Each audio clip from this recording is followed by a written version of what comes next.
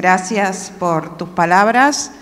Muchas gracias por habernos invitado con Fede a Colombia, un lugar que queremos profundamente.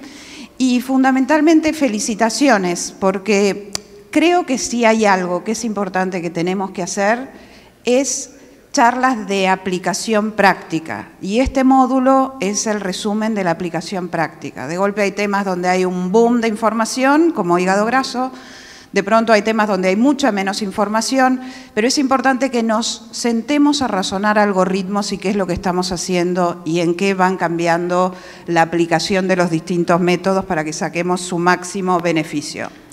Bueno, básicamente hablar de colestasis, donde no todos deben ser hepatólogos, la mayoría serán gastroenterólogos, Indudablemente que la tenemos bastante clara, es la manifestación clínica, bioquímica histológica de la interrupción del tránsito de los ácidos biliares desde el hígado, donde son sintetizados, hasta el intestino, donde actúan. Y esto ocurre por un sinnúmero de causas, de las cuales condicionarán la velocidad y la intensidad del defecto, pero que básicamente, si bien obviamente es la definición, no es tan interesante como lo que sería la explicación fisiopatogénica de lo que pasa. Y lo que pasa en la colestasis es que estamos ante una situación clínica donde todas aquellas sustancias que debieran avanzar hacia el canalículo,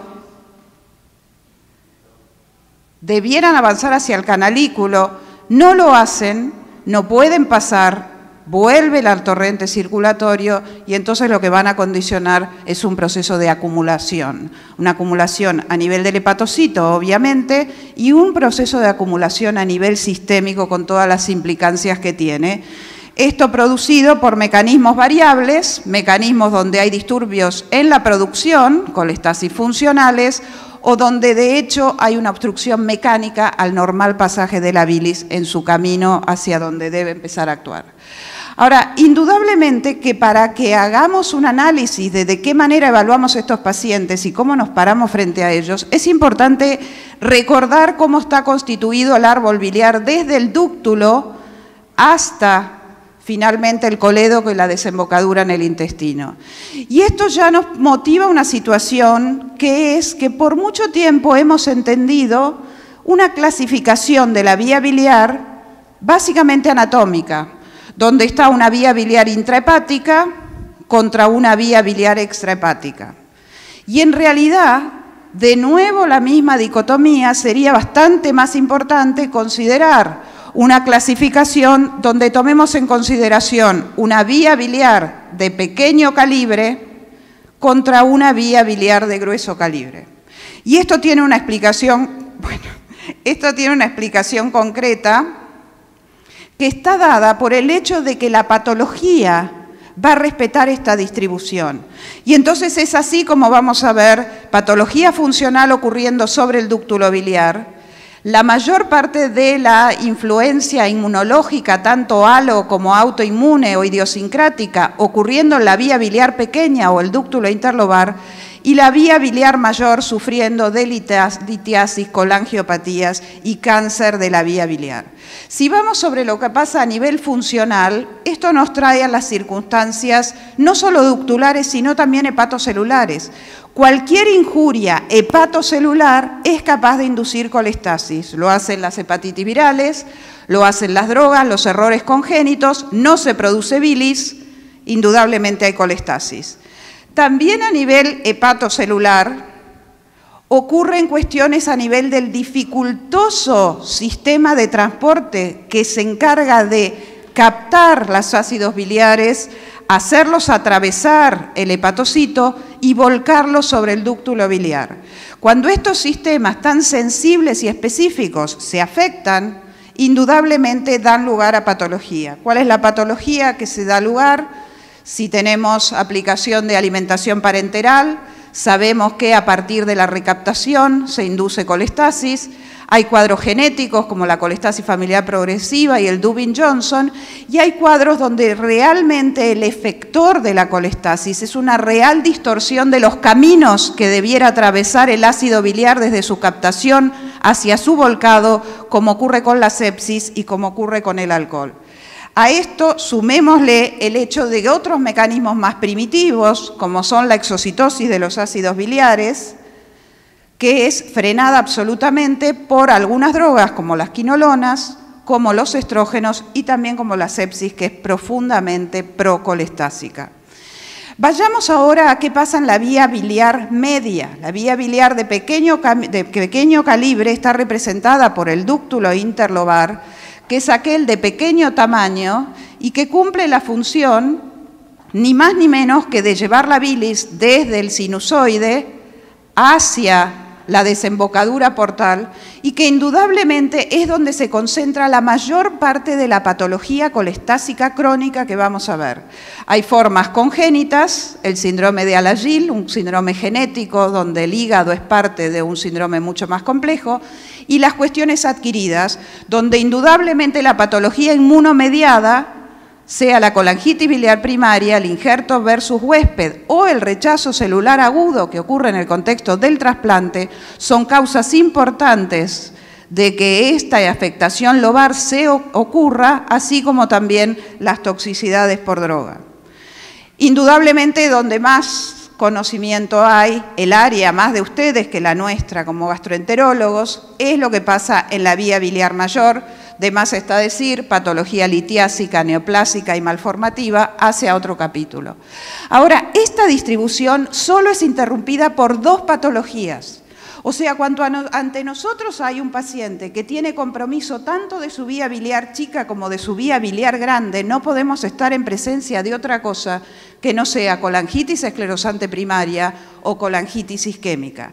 Y tanta es la asociación que nos estamos planteando hasta qué punto no habrá mecanismos patogénicos compartidos entre ambos, ya que ambas dependen fundamentalmente de esto, que es el riego específico de la vía biliar que depende exclusivamente de la arteria hepática y que va desde el compromiso de vasos grandes al plexo perivía biliar, con lo cual tal vez la colangitis esclerosante no sea otra cosa que una vasculitis de pequeños vasos que termina influyendo sobre toda la vía biliar, condicionando este compromiso indiferente que solo vemos en colangitis esclerosante o en colangitis isquémica.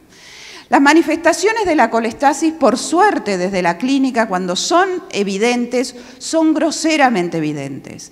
Clínicamente son pacientes muy ricos, nos muestran ictericia, nos muestran prurito en sus formas agudas y crónicas con verdaderas liquenificaciones de la piel, nos muestran depósito de grasas, santomas y santelasmas en áreas de extensión, algo que es particularmente obvio en las formas congénitas como el alagil, nos muestran deformaciones hipertróficas de las uñas, nos muestran osteoporosis.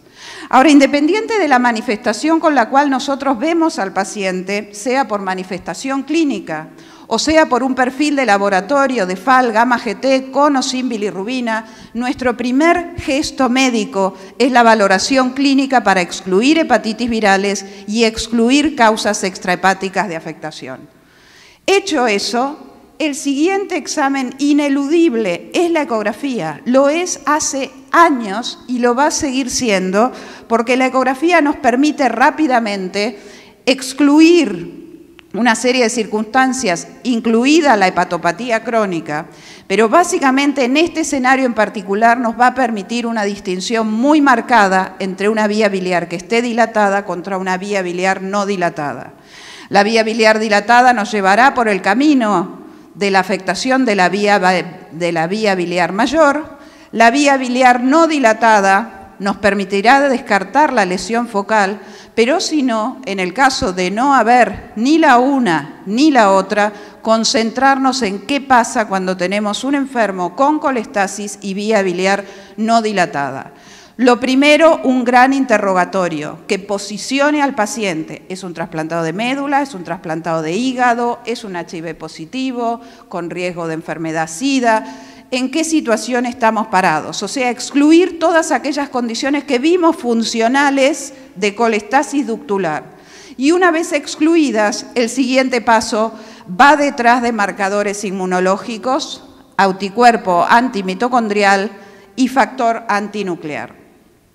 El antimitocondrial lo conocemos bien, es un, anticuerpo de gran especificidad, ya que se encuentra presente en 94% de las CBPs y es raro en cualquier otra circunstancia de injuria hepática, al punto que define a la enfermedad.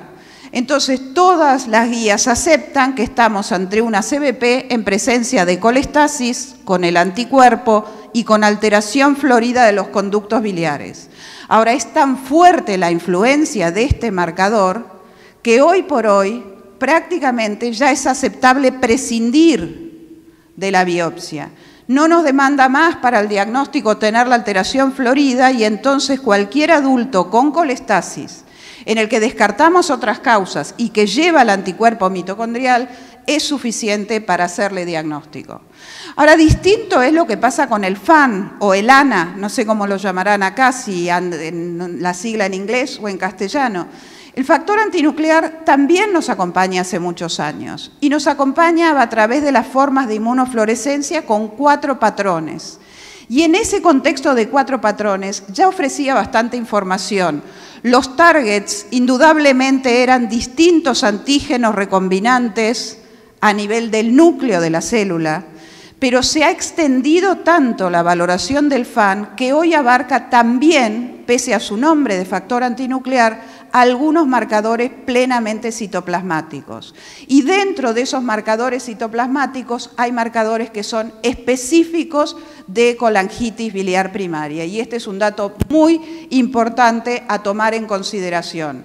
Y lo es tanto que la pauta a seguir es, hoy ya no es suficiente el diagnóstico del patrón, si es nucleolar, si es homogéneo, cómo se presenta, sino que una vez que uno identificó el anticuerpo debe profundizar por otros métodos para definir contra qué antígeno específico va dirigido. Y si va dirigido eh, contra el anti-SP100 o el anti-GP210, es suficiente especificidad también para en ausencia de biopsia poder hacer diagnóstico de la enfermedad.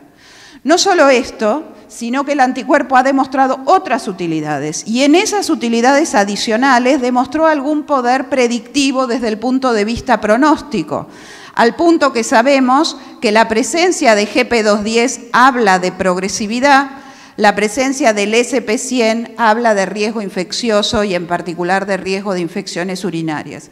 Así que miren qué importante que es cuando tenemos desarrollos de enfermedades autoinmunes con alta frecuencia en nuestros medios latinoamericanos, tener un laboratorio de inmunoserología que sea capaz de brindarnos toda la información adicional que estos nuevos anticuerpos, partiendo de un anticuerpo tradicional, son capaces de brindarnos.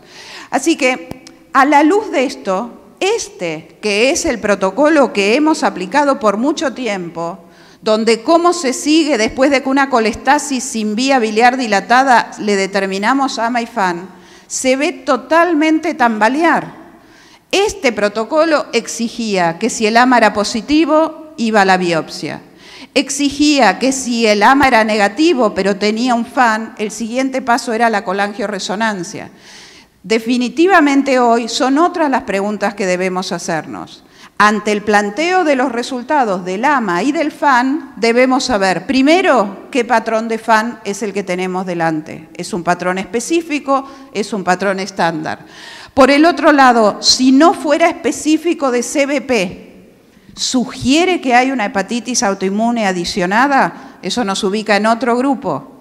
El grupo donde con o sin antimitocondrial la presencia de un FAN podía sugerir la presencia de superposición. Entonces, de alguna manera, incorporar estos nuevos conceptos de lo que ha pasado en el último tiempo con respecto a la interpretación de la autoinmunidad hace que estas definiciones ya no sean las mismas.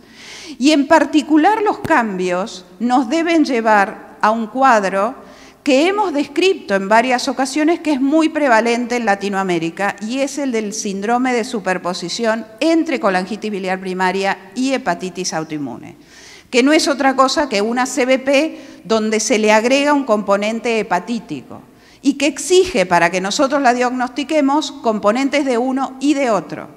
Ahora, hemos caído tal vez en una sobreindicación de este síndrome y es algo que debemos revisar con mucha fortaleza, porque implica a estos pacientes agregarles inmunosupresión y corticoides en particular que no les son gratuitos. Así que así como es importante hablar de superposición cuando hay superposición, también es importante recordar muy bien que hay circunstancias que hemos comprado como superposición y que no la son, como otras enfermedades hepáticas concomitantes, como lo que se daba en llamar CBP AMA negativo, pero fundamentalmente como algunas CBPs o hepatitis autoinmunes típicas que porque tenían algún elemento de la otra las comprábamos como superpuestas. Y eso pasaba por la presencia de anticuerpos. Hoy sabemos que hay antimúsculo liso y patrones variables de antinuclear en CBPs puras, nos pasaba con el que era el indicador histológico por excelencia de hepatitis autoinmune, que es la hepatitis de interfase. Hoy si el anatomopatólogo te define en una biopsia hepática hepatitis de interfase, no hay que salir corriendo detrás de la deltisona a ponerle corticoides, sino que hay que preguntarse cuánta de esta inflamación no será secundaria a la propia inflamación pura de CBP y esperar antes de agregarlo para que la enfermedad esté mejor definida. El otro tema es la posibilidad, la posibilidad de recordar que una de cada cuatro hepatitis autoinmunes tiene componente biliar. O sea que si tiene componente biliar, no hace falta agregarle ácido urso desoxicólico. Es una hepatitis autoinmune con una respuesta biliar, probablemente inmunomediada, pero que no hace diagnóstico.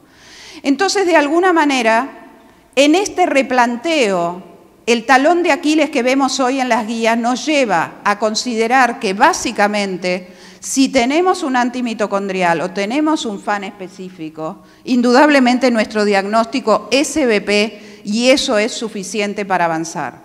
Si tenemos la presencia de un FAN no específico con o sin un antimitocondrial, pensemos muy bien en base a estos elementos si es una superposición o no lo es. Si sospechamos que lo es, indudablemente el siguiente paso es biopsiar. Y esto queda bien definido por parte de las guías, donde dice que en aquellas circunstancias donde en una CBP dudamos que haya realmente superposición, la biopsia claramente es el camino. O sea que, resumiendo, seguimos hoy con algunas variaciones fundamentando la valoración inicial de un paciente con colestasis en estos cuatro pilares. La ecografía, la colangio en sus diversas formas, la inmunoserología con su rol evolutivo central y la biopsia hepática. Ahora, claramente estamos detrás de algo que nos dé soluciones más rápidas. ¿Cómo puede ser que en este contexto no se planteen alternativas que de alguna manera agrupen y nos den el combo, donde no tengas que pensar qué vas a comer, si esto, lo otro, te lo dan en, en bandeja? Y ese combo hoy, para la valoración de estos cuadros, parece venir de la mano de la econdoscopía. La econdoscopía, donde ahí estuvimos leyendo los pósters que se presentan en este congreso, donde ustedes tienen mucha experiencia y donde la mayor parte del foco está puesto fundamentalmente en el diagnóstico de patología de lo que sería la vía biliar mayor, también abre nuevas posibilidades, al punto de brindar información claramente ecográfica, de brindar información sobre el estado de la vía biliar, y de abrir la posibilidad a la realización de biopsias hepáticas transgástricas. Adicionemos a esto algunas cosas de las que ya disponemos y otras que se vienen y en las que se están trabajando, que es la posibilidad de que estas valoraciones de fibrosis, que recién contaba también el doctor, puedan hacerse por esta vía, podamos medir la presión portal a través de econdoscopía, hecho que ya se está haciendo, indudablemente viendo el contexto de varices esofágicas y pudiendo avanzar en intervenciones. Así que claramente se perfila como un combo bastante significativo e interesante, al punto que ya aparecen planteos donde se sugiere, si se quiere un poco tibiamente, que si vos ya sabés que vas a tener que estudiarle la vía biliar y a ese paciente lo tenés que biopsiar, empecemos a considerar como alternativa a la biopsia percutánea o eventualmente a la biopsia transyugular la posibilidad de hacerlo a través de ecoendoscopía.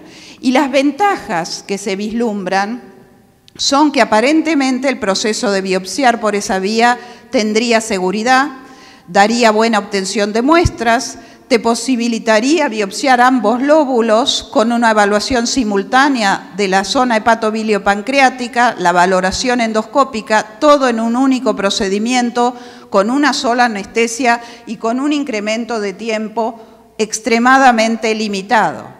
La verdad es que los resultados son favorables, se ha visto que tendría mejor rédito con respecto a la longitud de muestra y al número de espacios portas que provee, sobre todo la forma bilobar de biopsia, mejor que lo que es la biopsia percutánea e indudablemente que lo que es la biopsia por vía transyugular.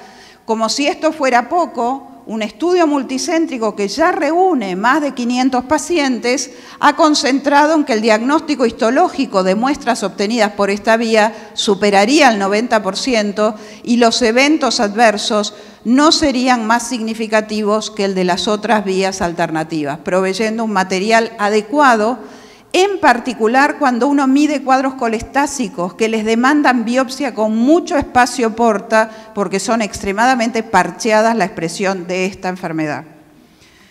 En conclusión, lo que podemos decir es básicamente que el paciente con colestasis presenta características clínicamente particulares que se basan en su exposición a los productos de retención biliar sumado a un estado de importante activación inflamatoria tanto hepática como sistémica. La evaluación debe ser rápida, pero debe ser sistemática, con el objetivo de prevenir las graves consecuencias que implica mantener sin tratamiento efectivo una colestasis crónica. La introducción de nuevas metodologías podría optimizar este proceso de evaluación, pero debe ser regido hasta tanto haya una evidencia con más fortaleza de la que tenemos hoy, debe ser regida por el sentido común y el criterio costo efectivo del médico tratante. Ya las guías europeas empiezan tibiamente a dar estos cambios. Ya empiezan a incluir el hecho de tener específicamente ANA específico, junto con el antimitocondrial como segundo paso en la evaluación. Ya empiezan a, sugerir que la econdoscopía claramente no puede desbancar a la colangiografía, pero ya se esboza ahí como un gran aliado terapéutico y todavía sin considerar la utilidad adicional que acabamos de ver en la biopsia sumado a lo que son los marcadores genéticos que esperamos y estamos luchando porque estén mucho más disponibles en la práctica clínica de lo que están hoy. Un marcador genético hoy implica mandar muestras a Estados Unidos o a Europa, hecho que es impracticable para la mayoría de los pacientes. Básicamente, como toda guía, debe mantenerse dentro de ser eso para lo que fue diseñada, guiarnos en nuestras acciones pero no reemplazar de ninguna manera nuestro pensamiento crítico de la utilidad no solo de los métodos, sino de los métodos en nuestro ámbito en particular y en los hospitales donde nos toca trabajar. Muchas gracias.